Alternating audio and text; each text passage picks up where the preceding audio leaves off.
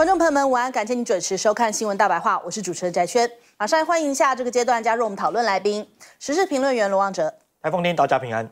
立委王宏威，翟轩好，大家好。资深媒体人陈慧文。大家平安。好，立刻关注一下这个台米席台哦。我们今天是第二天放了这个台风假。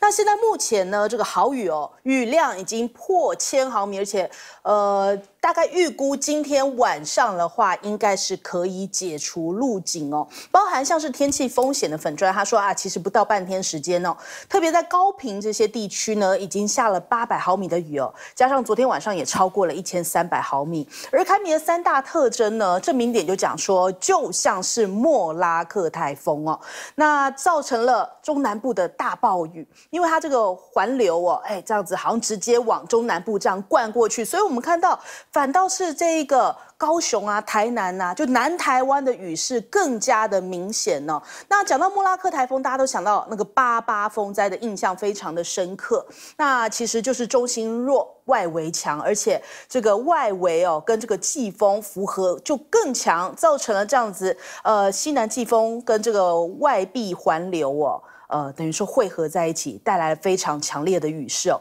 两千零九年莫拉克台风来袭的时候啊，西南季风就这个。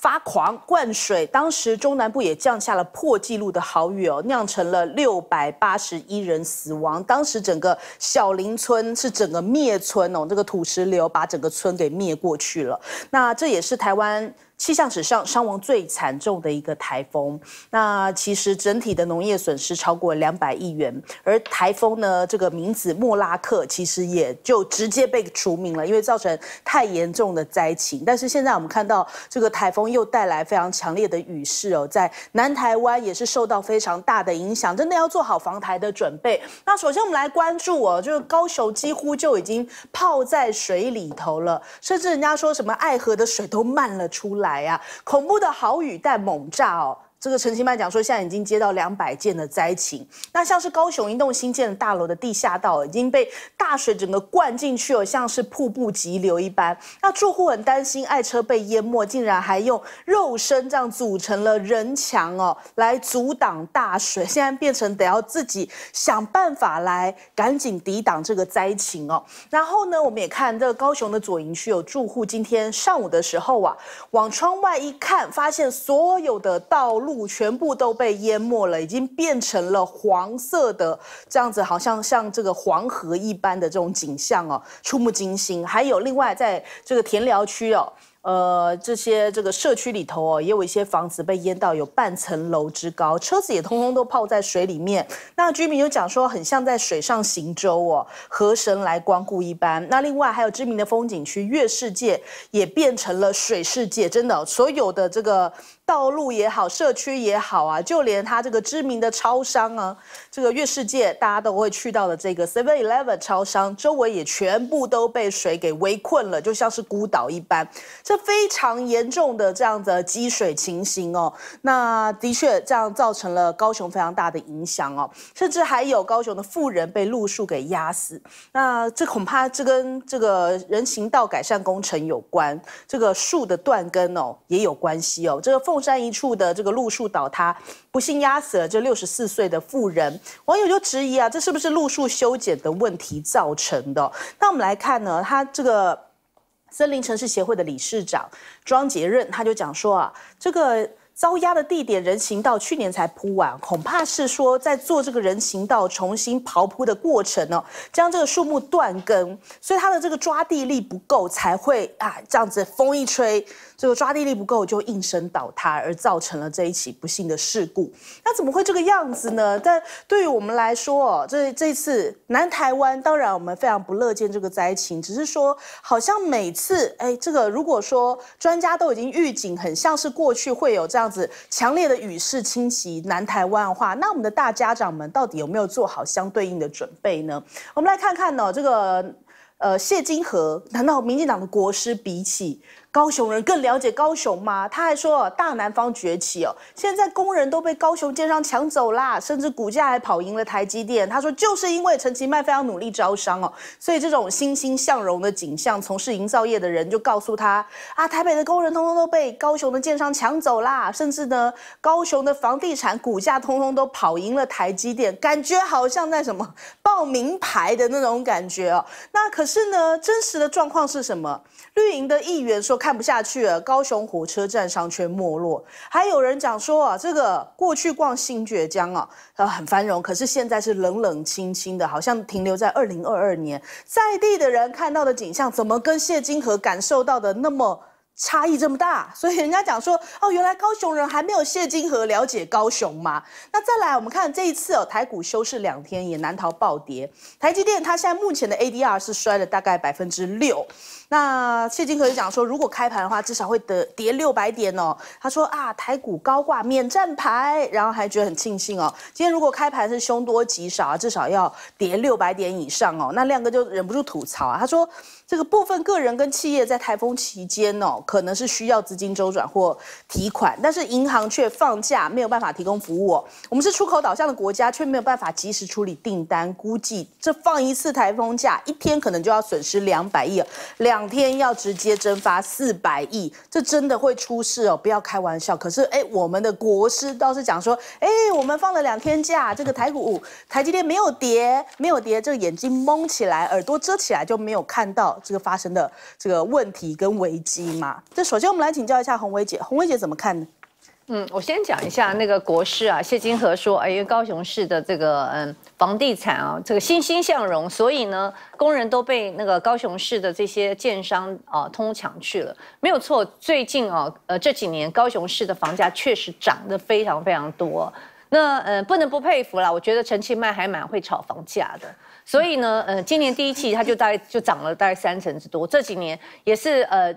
高雄市的价房价一直节节升高，所以也有很多的高雄市的中产阶级，还有高雄市的年轻人觉得要买房子更困难了哦。这个其实是这样的声音，事实上是越来越多的。那至于就说今天高雄市呃呃淹水，我看起来好像很多区域，包含甚至他们的豪宅区啊。都在淹水，所以呃可以说这个灾情非常非常惨重。当然，我们对于不管是呃受灾的民众，或者是在第一线救灾的，我们都应该致上这个致意啦，因为非常非常辛苦。那可能今天这样的淹水下去，我想明天虽然我觉我预计应该是各县市都可以恢复正常上班上学，但是高雄市这些受灾区恐怕没有办法正常的运作。那高雄市政府可能会有一些呃特别的一个办法。那至于就说。这些淹水啊，呃，当然，第一，这一次是呃，它的降雨量非常多。那么以台北市来讲的话，就台北市呃，我们的呃下水道，台北市下水道的这个覆盖率已经是全台最高了，大概百分之九十九了。可是呢，我们的这个时雨量大概如果超过七十八点八，就超过七十九毫米的话，其实也非常容易致灾哦。那当然，其他其他城市我不晓，我觉得其他城市大概只有比台北更少。那另外一方面，呃，也是这两天又是涨潮的关系，所以很容易就是这个河水都会这个溃堤，那造成这样的一个大淹水。不过我觉得，就是说我刚才看到一个，就是这个新建大楼，大家用人墙的方式，大家在那边怕那个水下去，把自己当沙包，这个我是觉得非常奇怪的事情，一般不会这样做。像台北哈，我们现在以前呢是这个呃，就是。鼓励大家做这个防水夹。现在呢，台北市呢会补助你做防水夹，而且呢，希望你来做。呃，就是你你先做好，如果真的有这个呃台风来袭，或者是有豪大雨来袭的时候，赶快有防水夹。或者是呢，在这个台风来之前，其实当时我们跟里长都会联络，哪些定点它会有沙包的定点。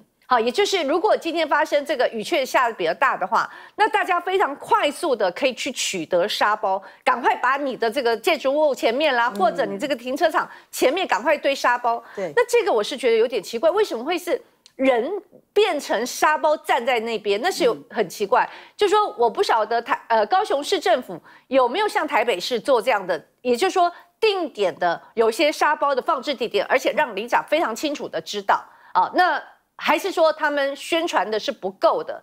那另外一个部分就说，高雄哦，因为在前瞻呃过去大家讲前瞻预算的分配的时候，就有提到，在前瞻到二期为止，高雄市一共拿到超过一千两百亿的这个前瞻的补助。嗯，那么相对台北市只拿到一百八十四亿，当时就说怎么会这样的大小眼？是因为呃你的县市如果是绿营执政，然后前瞻就领的特别多吗？然后台北市就拿的特别少吗？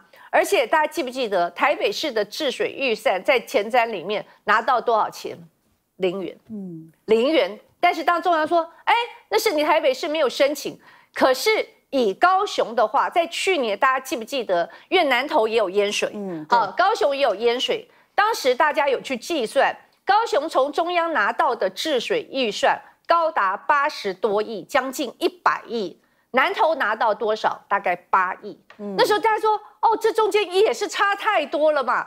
就算高雄市，呃，这个是直辖市，南投不是直辖市，但大家知道，南投因为是山区的关系，一个八十亿，一个八亿，这中间也相差太多。就是长期以来，确实中央在整个的，不管是前瞻也好，或治水预算，确实有严重的大小眼的状况。所以我看到网络上有人也在问说。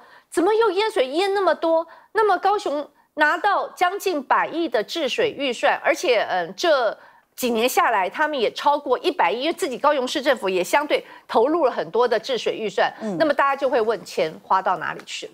嗯，好，来问旺哲。刚刚洪伟姐提到这个预算啊，其实，在二零二一年的时候呢，这个水利署已经投入高雄的治水特别预算已经到了一百八十九亿。嗯，哎，这个已经非常多。如果再加上前瞻的话，可能两百亿都有了。那问题是，加上大家看为什么这次会特别关心高雄的情况？因为这次哦，大雨哦，其实都在中南部地区比较比较看起来比较猛烈。那必须要说啊，的确啊，强降雨的话，各个县市都没没办法幸免。但为什么高雄这次会特别惨烈？我显然就是看起来。有点疏忽掉了，因为你刚刚看那个很多民众在在在挡水那个画面，其实一般民众看的是很心疼的，怎么会变成说民众要涉涉陷在一个风风险之中去挡水？那你们官员在做什么？甚至我们看很多新闻画面，民进党民代都不见了。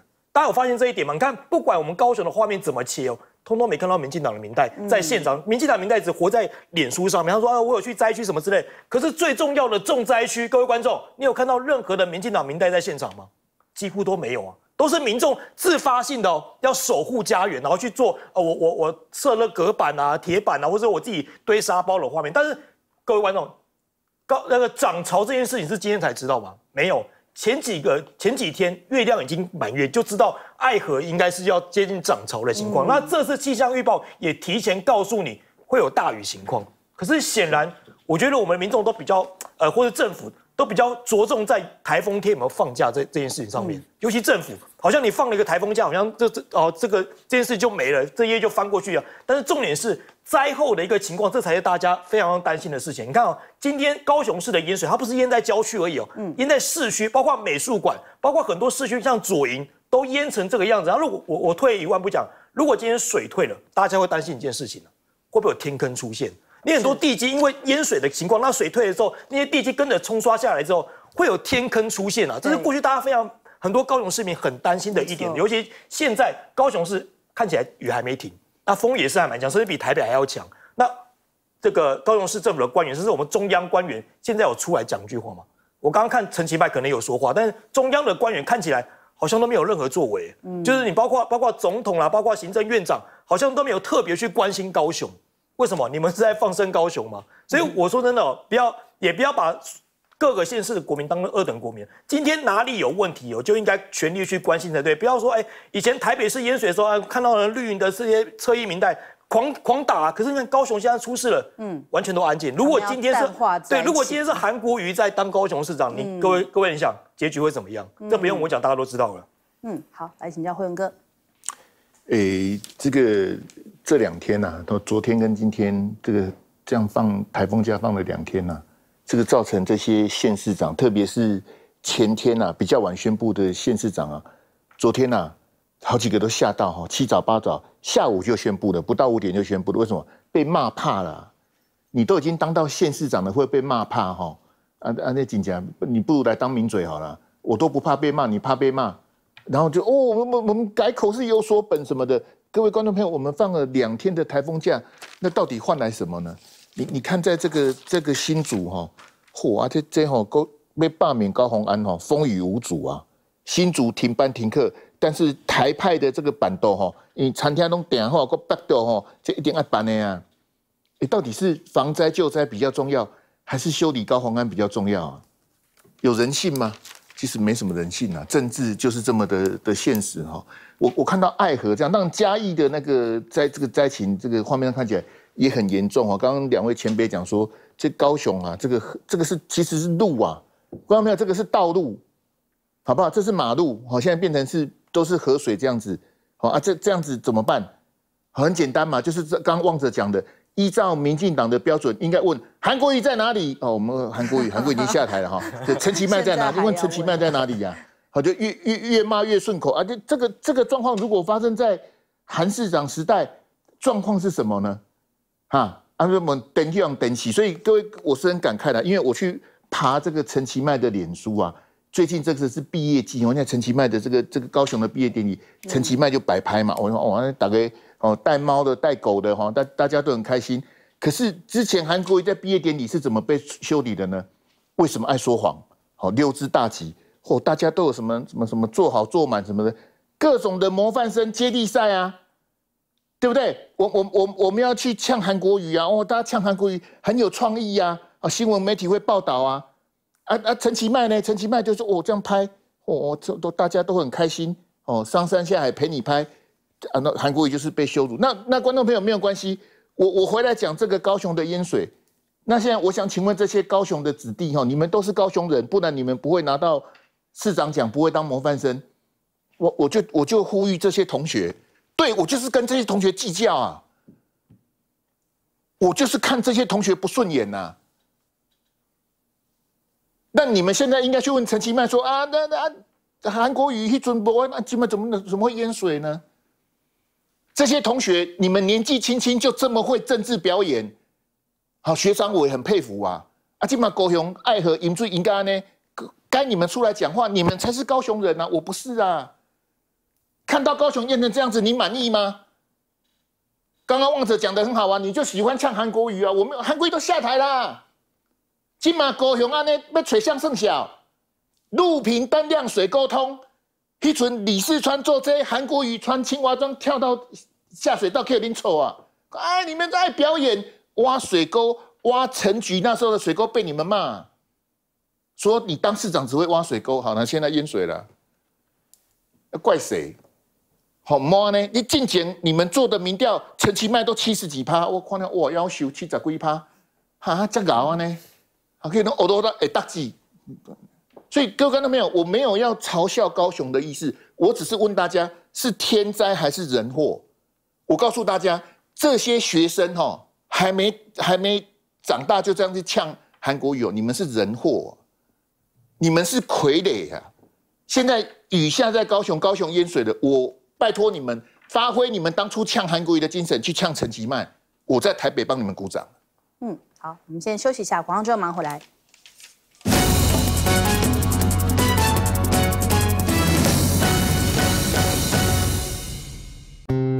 住得安全，活得平安，一人一点力，爱就大无限。